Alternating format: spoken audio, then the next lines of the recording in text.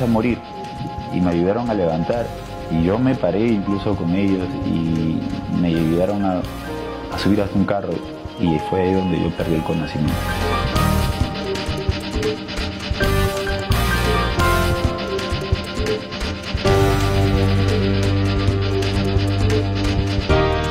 Lo que debemos hacer es seguir adelante, mirar al frente. El pasado ya pasó. Ya no podemos voltear la página, ya no podemos retroceder el tiempo. Hagamos de que eso ya fue y tenemos que mirar al frente y seguir adelante.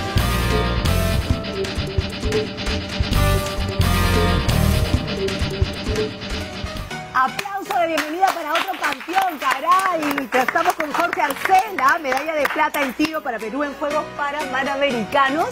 Otra historia súper inspiradora y hoy día la van a conocer. Bienvenido. Muchísimas gracias, eh, gracias por la invitación, muy bien, y agradecer al canal por abrirnos esta puerta, esta ventana ante el público y, y agradecerle al Perú entero por todo lo que hizo, por lo que demostró en Lima 2019. No, gracias a ustedes, porque realmente han sacado el pecho para, por todos los peruanos, así que nosotros somos los que te lo agradecemos, por supuesto. Antes de empezar, veo que estás con algo colgado acá y claro, yo despistadísima le digo, ¿qué es eso? Pero bueno, devélalo, por favor, devélalo. La sagrada. Eh, tengo que ponerla en caja fuerte y cuidarla porque esta es la dorada, la preciada. Eso, La qué más querida. linda, lo máximo. Ahora, ¿no? ¿por y, qué? y el bonito detalle, mira, es que atrás tiene eh, en braille para... En braille, es lo máximo. Sí, sí, Qué es un detalle muy bonito que hicieron eh, y que de verdad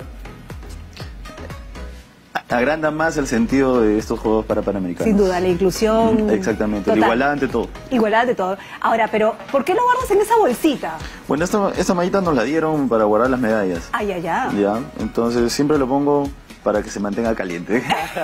ok, ok. La resguardas por el Sí, invierno. Sí, Está sí. bien. no. Bueno, pero, por bueno, ahorita mientras lo voy a déjalo- dejar afuera. Sí, déjalo ahí para. Y le pongo un- siempre un guairuro para que no le echen mal de ojo. No te puedo creer, de verdad.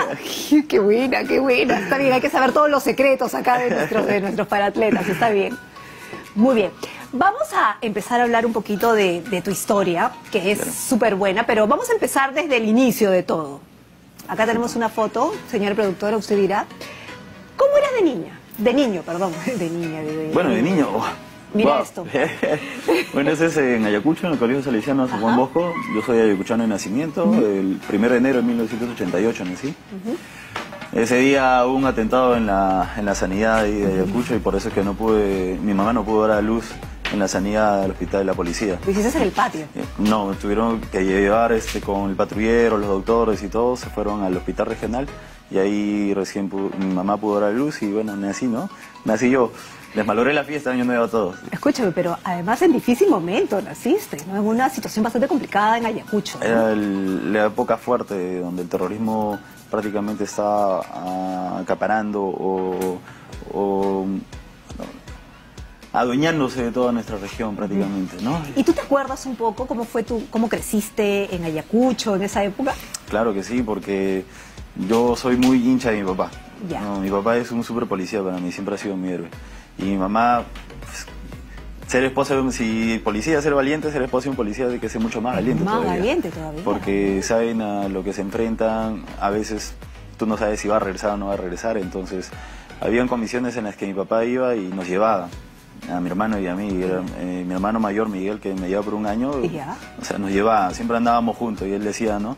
Si es que algo pasa, como ustedes estando juntos, mientras a uno le van golpeando, uno va a pedir, a- va a pedir ayuda. dice. Esa era la estrategia. No, o si no, se defienden entre los dos, pero Claro. siempre van los dos juntos. juntos para, para cuidarse, porque habían problemas o habían secuestros de niños, eh, o los llevaban para, para las filas, pues, ¿no? Para Claro, los captar filas. ¿no? Los captaban desde chiquitos, ¿no? Exacto. ¿no? Entonces siempre mi papá nos mantenía juntos y nos enseñaba cosas eh, para poder defendernos y protegernos. ¿no? Eh, pero gracias a Dios y por la protección de mi padre y las enseñanzas, llevamos una buena educación, siempre pegado a la institución policial, siempre iba a las ceremonias. Eh, hacían pues fiestas eh, tanto del Día de la Madre, del Padre, Navidad. Y en- por eso decidiste hacerte policía. La verdad que me llamó la atención desde muy chiquito Yo me paraba en la plaza, todos los domingos en la plaza de Arma de Ayacucho, eh, el izamiento del pabellón, el canto del himno y el canto del himno de Huamanga también. Y bueno, pues yo estaba bien plantado ahí, mano al pecho y, cantando mi himno nacional de dos, tres años ya. Entonces, ¿cuántos años tenías cuando entraste a la policía? Bueno, eh, para empezar, terminar el colegio, yo hice mi servicio militar voluntario en la Fuerza del Perú. ¿no? Le dije a mi papá, ¿sabes qué, papá? Me voy a hacer mi servicio. Y mi papá, feliz, oh, mi hijo, a hacer el servicio. La que estaba preocupada era mi mamá. Otro más, dice, otro más. ¿Tu hermano también? No, no, mis hermanos ah, no. Somos cuatro hermanos y el único que decidió tomar la carrera policial, militar y policial fui yo. Entonces, pasado mi servicio militar, mi periodo de dos años de, servicio, me licencié y postulé a la Policía Nacional del Perú, eh, a la Escuela Técnica de Puente Piedra, promoción espartano, donde tuve el honor de conocer grandes amigos. Somos mil en mi promoción, somos mil. Y bueno, pues este, de ahí ingresé a una institución, a una unidad élite de la policía, que es la INOES, como puede ver. Ahí está, camuflado, ahí está. La Dirección Nacional de Operaciones Especiales, unidad donde me enseñaron muchas cosas, y en especial el uso de todo tipo de armamentos. Eras bien estudioso.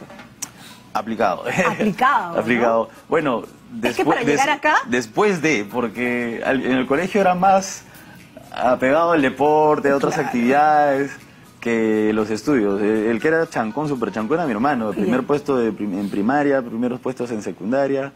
Y yo primeros puestos en recreo y en salida nada más, ah, está bien eso. salía primero. Pero ¿y aquí cambiaste? Aquí cambié totalmente porque eh, valoré el sentido de, la vida, valoré el esfuerzo que uno tiene que hacer y, reconocí el esfuerzo que mi padre tenía que hacer para poder educarnos. ¿no? El suelo de un policía no siempre es eh, el adecuado y en esas épocas era peor y mantener cuatro hijos, mucho, mucho peor. O sea, de verdad, yo valoro mucho lo que hizo mi padre, el esfuerzo que hizo por nosotros. Eh, y mi madre que definitivamente la administradora de todo, que hacía todo lo posible para que alcanzara todo, entonces de ese modo supe valorar y, reconocí y dije, no, yo tengo que hacer un cambio de 360 grados, girar y, y, ayudarlos más bien a ellos. Ahora, ¿hasta ese entonces cuántos años ya tenías? Cuando ingresé a la policía, eh, ingresé a la policía a los 20 años. 20, chico todavía. ¿Cuándo es que entras ya a, digamos, a esta sección de inteligencia y empiezas a trabajar un poco más en el tema? Porque estábamos en una época complicada, bueno, siempre estamos en una época complicada en nuestro país, ¿no? Hay épocas. Entonces, este, comienza esa estrategia por buscar Artemio, ¿no es cierto? Y formas parte de esa estrategia de inteligencia. ¿En qué momento entras? Bueno, eh, la Dirección General de Inteligencia del Ministerio Interior, de la mano con otros, eh, otras unidades élite de inteligencia, eh, se unieron para poder lograr la búsqueda y captura del camarada Artemio y otros, otras cabezas terroristas, ¿no?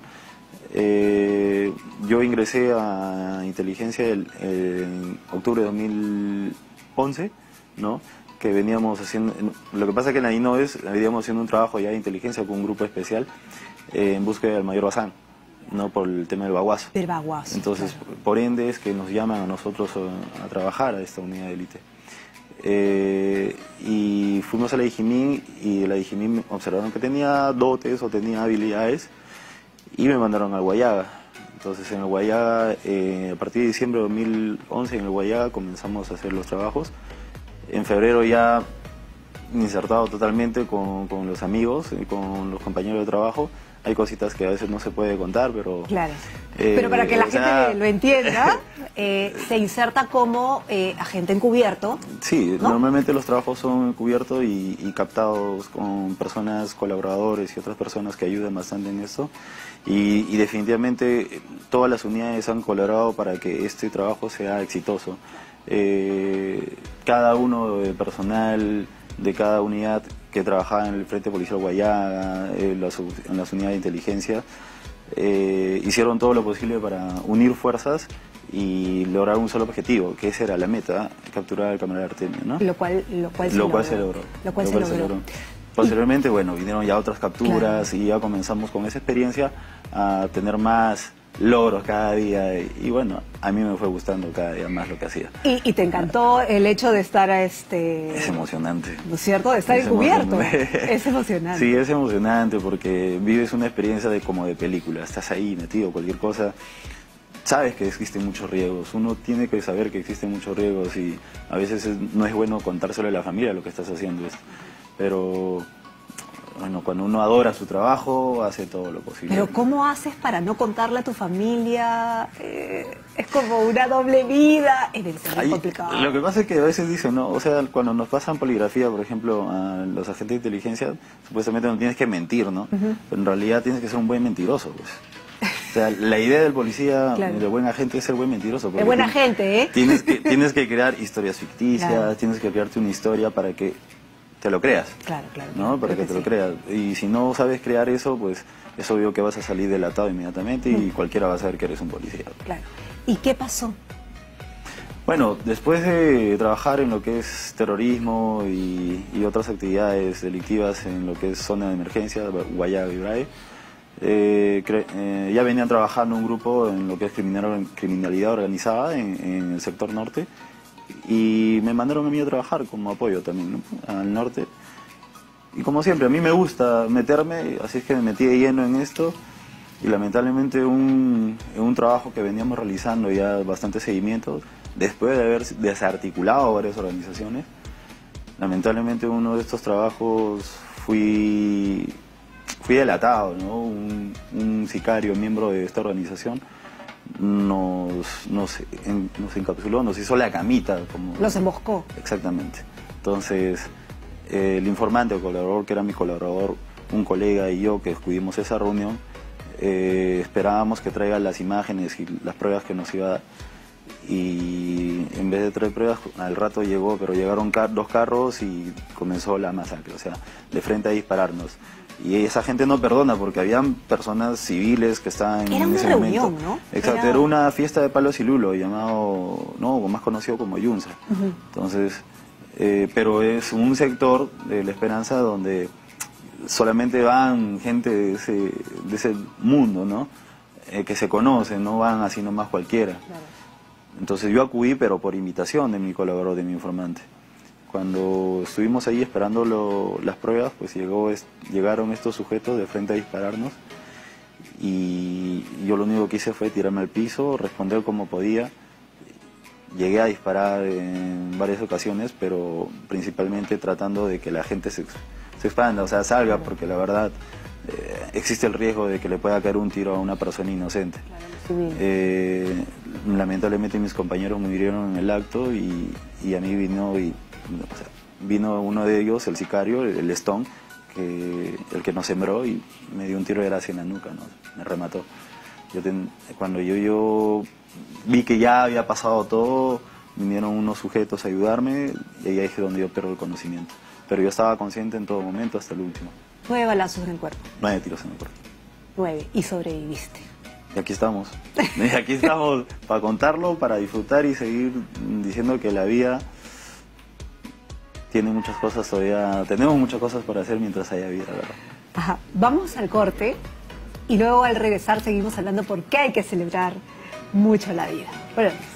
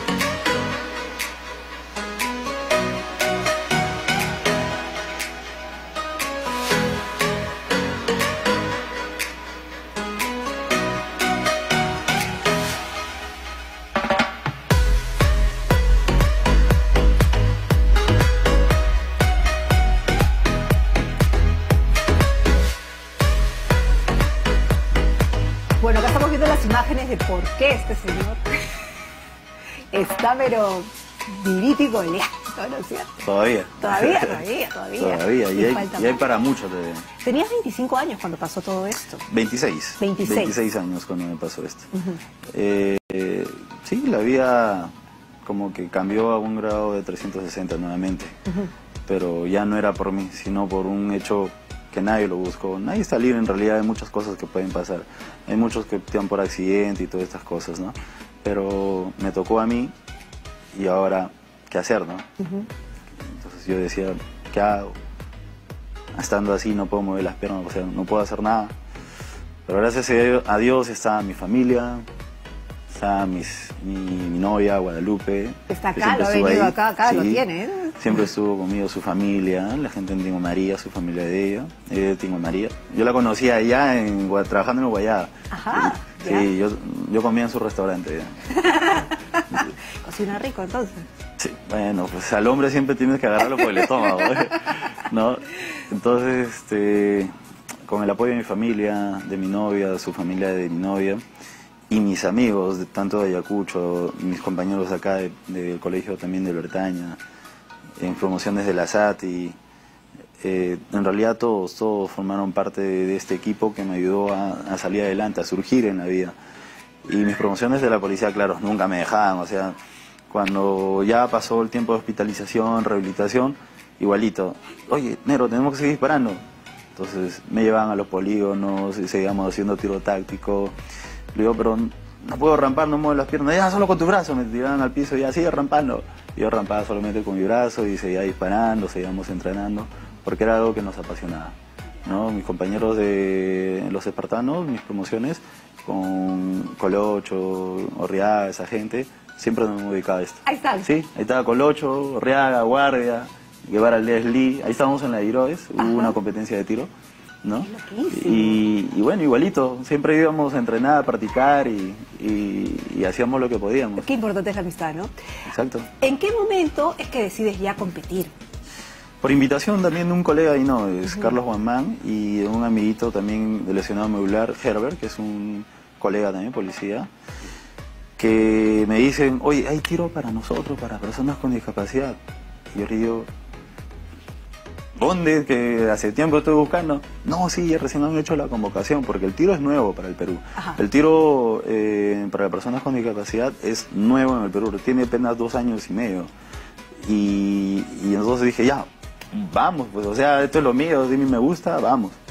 Fui y comencé a entrenar y conocí al profesor Rodrigo Aranguena, eh, conocí a Steve Medina, también del equipo, ex Dinoes también. Conocí a, a Milagros, a Jesús Ríos y conocí al equipo de la Delegación Nacional Paralímpica que nos abrió las puertas y nos dijo, bien muchachos, ¿quieren esto? ¿Les gusta esto? Aquí tienen las armas y todo depende de ustedes. Entonces, no es solamente venir acá a entrenar porque sabemos bien de que el deporte para personas con discapacidad comenzó como un deporte de recreación. Pero esto es más que un deporte de recreación, este es un deporte de alto rendimiento. Y todo depende del compromiso que tengan ustedes con esto. Si lo quieren, bien. Si no, déjenlo y denle la oportunidad a otro que venga y lo tome. Ahí está justamente el entrenamiento. Ahora, esto, sé que tú utilizas un, eh, una cosa especial para poder coger el rifle porque es, ahí como lo vemos, es súper grande, ¿no? Claro, eh, existen varias modalidades. Una es R1, 10 eh, metros rifle de aire, que no, no, no usa ningún tipo de apoyo. O sea, solamente yo sostengo el arma es como la modalidad de tirador de pie o parado ¿no? en los convencionales. Eh, y la otras, las otras dos modalidades es con una mesa de apoyo, ya que es R3, rifle tendido 10 metros, que por eso uso esa mesa y una correa ¿no? para sostener el arma. Eh, y en R6, que es a 50 metros, calibre 22, también tendido, ¿no? que es la modalidad de tirador tendido en el tema convencional. Ok, pero es difícil, pesa. Uf, pesa bastante. Pesa, claro, pesa un montón, Pesa bastante. ¿no? Ahí está, mira esa foto. Ay, es enorme el rifle. ¿Qué, ¿Qué material es? Es aluminio, baquelita eh, y bueno, pues este, el fibra, fibra de carbono. Siempre se trata de tener lo más ligero posible, ¿no? Ah, hay algunos que son solamente de madera, únicamente de madera, eh, pero sí, o sea... ¿Cómo vamos en el apoyo, ah? con el apoyo competitivo, porque claro, en este caso... Eh, si te refieres al apoyo de las instituciones, empresas... Oficiadores. No tenemos ahorita oficiadores, ningún tipo de apoyo. Lo único que tenemos es el apoyo de la Dirección Nacional Paralímpica. Pero hacemos la invitación a las empresas que se sumen a esto, se sumen al apoyo. porque la verdad eh, se requiere no solamente para esta generación, porque ahorita nosotros hemos logrado esto para el Perú. Claro. Pero Y recién van a ver- empe- empiezan. Y es un antes y un después, o sea, a partir de ahora comienza el verdadero deporte peruano, ¿no? Eh, a nivel competitivo. Y con el apoyo de las empresas yo sé que los futuros deportistas también van a tener la oportunidad de lograr esto. Nosotros vamos a seguir sí peleando y necesitamos el apoyo para llegar incluso a Tokio y seguir adelante con nuestras metas. Pero también tienen que tenemos que dejar un legado para aquellos que vienen. ¿Están, ¿Entran de frente a Tokio o también tienen que hacer un No, puntaje especial? eh, mm, lamentablemente en tiro tampoco ha habido clasificación directa para Tokio. Tenemos que buscarla en las Copas del Mundo. Eh, hay un calendario de competencias internacionales donde dice cuáles son clasificatorias a Tokio. Y bueno, pues en su mayoría todas son en Europa. ¿no? ¿Y llegan? Y hemos ido a viajar a Croacia este año, eh, a Francia el año pasado, donde obtu- obtuvimos bronce, eh, y pude obtener mi MQS para clasificar a, a Tokio. Pero esos, esos- ese puntaje tengo que repetirlo y mantenerlo. ¿no? Es como mantenerse dentro del ranking. Pero para eso necesito viajar a casi todas. ¿Qué significa esa condecoración, por ejemplo? Significa el esfuerzo no solo mío, sino de muchos. Significa, significa que la vida de verdad tiene sentido. De verdad que la vida hay que seguir viviéndola, hay que seguir gozándola, hay que, hay que tomarla y de verdad no voltear hacia atrás, simplemente continuar el frente y seguir adelante. Eso significa para mí, de verdad, y, y me siento todavía muy emocionado por haber logrado esta gran medalla para el Perú y agradezco mucho, como lo digo nuevamente, a todas aquellas personas que nos han ayudado. Y hablando de, como dices, ¿no? de auspiciadores y eso, ahora, ahora es que se están sumando, como Chevrolet, que se, se- hace poco se sumó, y está haciendo un sorteo para los medallistas, que de verdad eso nos motiva a nosotros, ¿no? Va a ser un sorteo para los medallistas. Eh, entran a la página de Chevrolet, www.chevrolet.com.pe y pueden votar por el que prefieran. O sea, no solamente por mí. Pero claro, si pueden votar por mí, mejor. ¿no?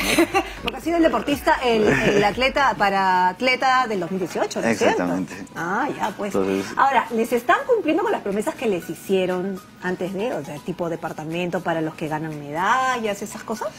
Bueno, eh, ese tema todavía no nos han comunicado, no nos han llamado a decirnos, ¿sabes qué, señor? Firma acá, aquí está su... Esto es de usted y espere que le den la entrega. No, hasta el momento no. Porque le prometieron, ¿no es cierto? Claro, hubo una promesa de por medio. Eh, Se supone que hay un documento de por medio, una resolución donde, Mm. donde dice eso, pero mientras que no lo tengamos en la mano no podemos decir o asegurarnos de que es nuestro. Además, creo yo de que el significado más grande fue darle la alegría al Perú, ¿no? Porque muchos de nosotros tratamos de concentrarnos no tanto en el hecho de lo que viene, el premio o esto, sino en nuestras metas, ¿no? Que es obtener nuestras marcas, lograr las medallas y eso. Pero si es beneficioso y si es motivador tener un premio, pues claro, ¿quién no lo quiere? Obvio. El que menos busca eso, ¿no? Pero como te digo, hasta el momento no nos han dicho, señor, esto es tuyo, te vamos a dar o firma Claro. acá. De No, pero- repente va a llegar su momento, quién Claro. sabe, no, no lo sabemos todavía. No, y porque si les prometen hay que cumplirlo. Exactamente. Mil gracias, Jorge, por haber estado acá. Mil gracias en nombre de todos nosotros por habernos dado este triunfo y esta alegría, por supuesto. Y de verdad, un honor, un honor estar con un doblemente héroe, ¿ah? De verdad. Muchísimas gracias. De verdad, de verdad. Muchísimas gracias, gracias a ustedes nuevamente y gracias Perú. Gracias por todo, de verdad. Lo máximo. Nos vamos. Ojalá que ustedes la hayan pasado bien y se hayan emocionado como nosotros, la verdad. Muchas gracias a nuestros atletas paralímpicos. Nos vemos.